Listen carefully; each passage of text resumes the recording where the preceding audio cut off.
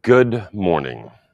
This is the Appraiser e Learning weekly briefing coming to you live from Las Vegas. I'm Hal Humphreys, your host.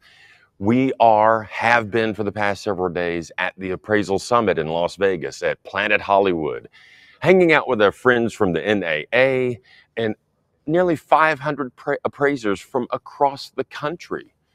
We've got so many trainees here that it is actually shocking to me. I was able to teach a couple of classes over the weekend. We had a full day of conference schedule yesterday. We have a full day of conference schedule ahead of us today. It is going to be crazy fun. On Sunday, I taught a course about ANSI. And in that classroom, we had about 35 appraisers in the classroom. Out of the 35 people in the room, there were about six trainees. I've never seen that ever in one room. We took a break. We'd been talking about using Total for mobile for your inspections. You use it, do it on the cell phone. And some of the older appraisers in the room said, I'm just not comfortable with it. I don't know how to use it. When I got back from the break, there were four or five tables that had turned their chairs around this one table.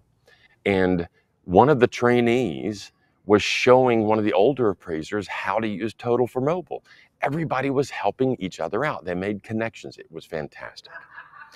This week, we have been all about the Appraisal Summit. We've had some amazing speakers. I am tickled to be here. The entire Appraiser e learning team has been here all week. This is your weekly briefing from Appraiser e learning. I'm Hal Humphreys.